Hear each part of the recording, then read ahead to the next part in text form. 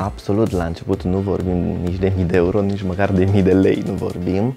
Um, cu siguranță, mediul de învățământ încă nu pregătește pentru mediul economic abilitățile și skills de care mediul economic are nevoie.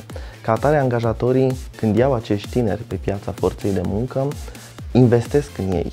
Investesc prin traininguri, prin, prin dezvoltarea abilităților în diferite domenii return on investmentul sau să scoată banii pe acest tânăr angajat, cel puțin 3-6 luni de zile, um, angajatorul nu face și ca atare mai degrabă investește bani decât să câștige.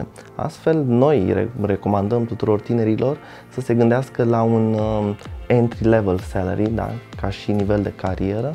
Categoric curba este undeva jos, odată cu experiența, background, cunoștințe crește, dar la început um, foarte realist să fie în ceea ce privește nivelul salarial.